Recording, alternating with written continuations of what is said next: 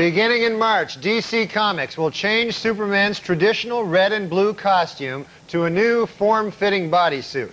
The problem with the old costume? Not gay enough.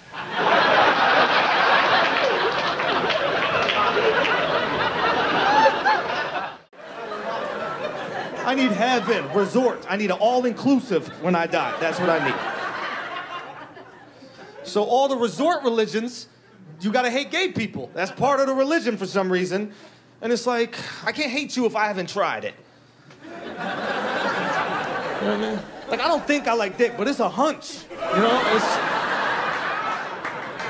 I'm not certain. It's a hypothesis I'm really not willing to test, you know? I had a friend, he was like, I know I don't like dick. I was like, you know you don't like dick? What you mean you know? You tasted it? What's the flavor? What's the flavor of dick? Is it cilantro? Because then I don't like that shit neither, because that would clear up a lot of shit. We act like gay sex is so fucking crazy, so foreign, right? Is it really that foreign? I like girl butt. Probably not that different from dude butt. Maybe a few less hairs in it, hopefully. I'll take it one step further. I like touching my dick.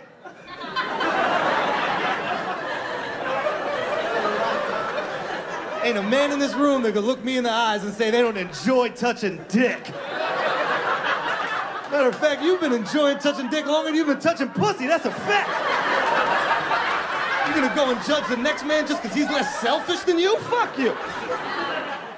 And now it's time for Weekend Updates movie reviews. This week I saw Interview with the Vampire. And here's, here's my review. Um, not gay enough.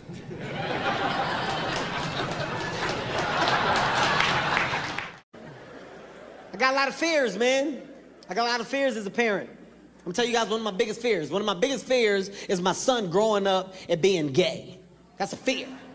Keep in mind, I'm not homophobic. I have nothing against gay people. Be happy. Do what you want to do. But me being a heterosexual male, if I can prevent my son from being gay, I will. Now, with that being said, I don't know if I handle my son's first gay moment correctly. Like, every kid has a gay moment, okay? Every kid. But when it happens, you gotta nip it in the bud. You gotta stop it right then. Hey, stop! That's gay! It's quick. No! I don't know. I don't know if I handle my son's situation right, okay? He's at a birthday party, right? My son had a birthday party. He's playing. You know when kids play, they just play. You don't know what they're doing, but they're having a good time. They're just doing a bunch of stuff, right? They're moving around. I said, okay, he's good. I finished talking. I turned back around to check on my son again. A little boy was grinding on my son's ass. He was, he was like this. I, I didn't know what to do. I panicked. I knocked them both down. Hey, hey, what's going on here? What kind of party is this? Huh?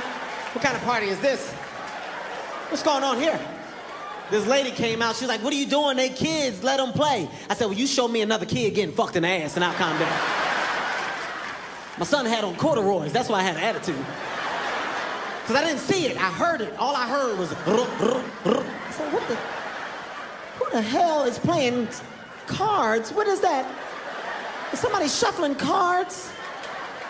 They're too young for spades here." the thing that pissed me off, here's what pissed me off, man. I was eating a buffalo wing when it happened.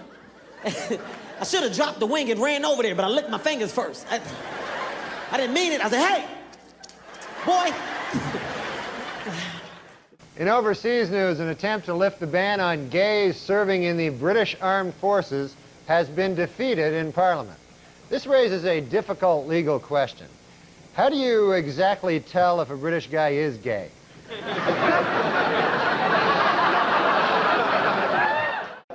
I never understood people uh, uh, judging people for the way they have sex. So some people get angry at homosexuals just for being gay. They get mad at them. Arrgh. I never really understood that, you know, like Uh, because they're just having sex with each other. It's like, like I can understand if gay people were just running out in the streets, just fucking people in the ass willy nilly, just like a pestilence, like without asking, you know. Like you're at the ATM. Hey, what the fuck? Jesus! God damn it! Some faggot just fucked me right in the ass. Seriously. Fucking right through my pants. He fucking ruined my new pants. Fucking bullshit. Another one. God damn it. I gotta get the fuck home. This is ridiculous.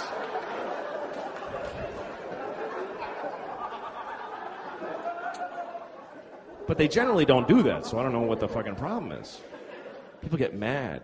They don't want to get, don't get married. Well, you don't have to go to the wedding. What the fuck? You don't have to buy him anything? It doesn't matter. So, some people go like, well, then a guy will marry his dog. Good. Fucking, I hope he blows his dog. Who gives a shit? It doesn't matter.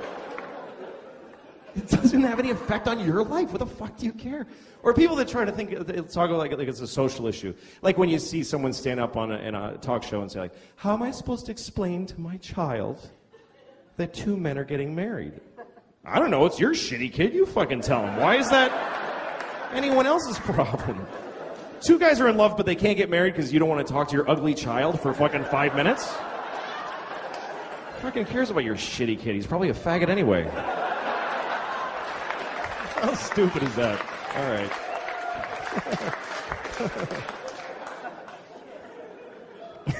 stupid. I don't know. The only the only um, thing that uh, bums me out though is that you're not you're not supposed to laugh at gay people when they're funny because sometimes they just are they're funny. Like I lived in New York for a lot of my life, and in my neighborhood everybody was gay, and and it, it, you know some guys are just a guy walking down the street, but some gay guys are a guy in little shorts and a half shirt and you know combat boots spray painted green and. Uh, a whistle and he's standing on the corner going, "Hello, it's fucking hot outside." Those, that's not a stereotype. Those guys fucking exist by the thousands. And when I see them, I laugh really loud. I just do. And people are like, don't laugh at him because he's gay. No, I'm not. I'm laughing because he's fucking weird and silly. He's hilarious. How am I supposed to react? Hello? Oh, hello. Hello, yes.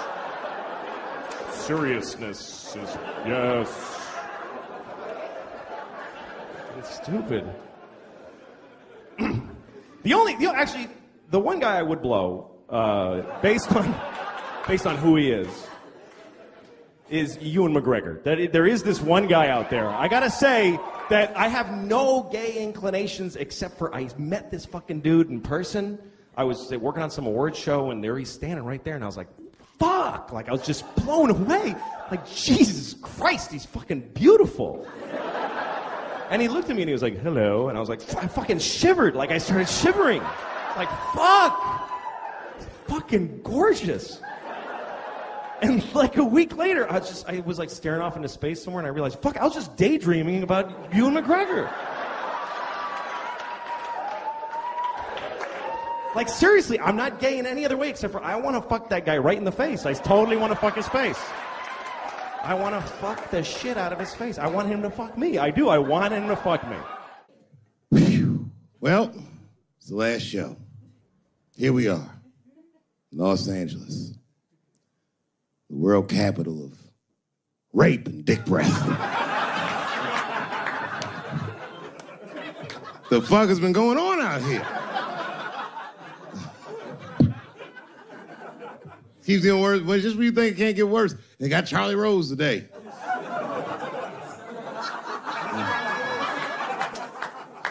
It'll be a quiet morning on the news tomorrow. Charlie Rose, who's next? Captain Kangaroo? Everybody is raping like hotcakes. I, for one, am starting to get worried. You know, I've been in show business 30 years. I had no idea how much danger I was in. It's really some scary shit. I gotta tell you, Harvey Weinstein's probably the first person that I ever looked at a photograph of and was like, yeah, he rapes. not a handsome man, not a lot of meat and extra skin on his face. Yeah, he's ugly. You know the sad part is, he's done so well in life he probably doesn't know he's ugly. You know, when you're good looking, everybody will tell you, oh, you look wonderful, you're so great looking. But when you're ugly, you gotta figure that shit out for yourself. it's a lot of putting clues together through the years. Why am I not getting in the club? I got all the right shit on.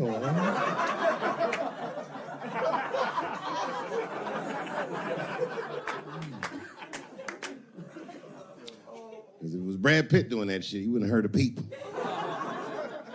The girl would just come back down like, I got the part.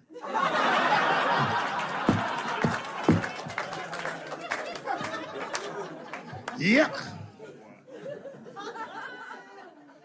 Yet, and yet, it is important that I acknowledge, ladies, you are absolutely right. There you go. And you gotta all be mindful of that, guys, because uh, this could happen to any of us. It could happen to me. I can see that. My 3 a.m. with Mr. Weinstein.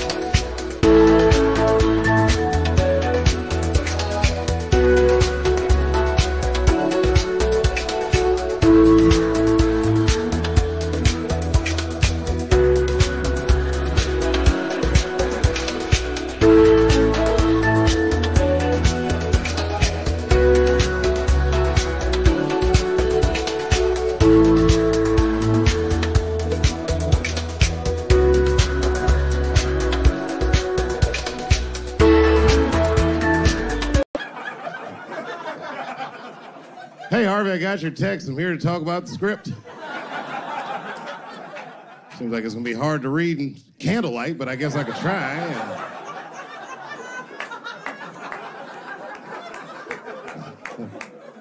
Sound like a fucking nightmare. Could you imagine that shit? Could you imagine if you was in a business meeting and a motherfucker pulled their dick out? In the middle of the meeting, I'd be like, yo, Yo, my man, this is the most unprofessional shit I've ever seen in all my days. Just let me finish, Dave Chappelle. I'll put you in all three Lord of the Rings.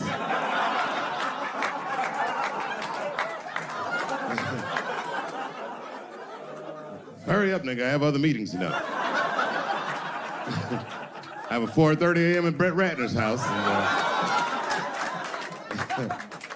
I believe it's wardrobe fitting.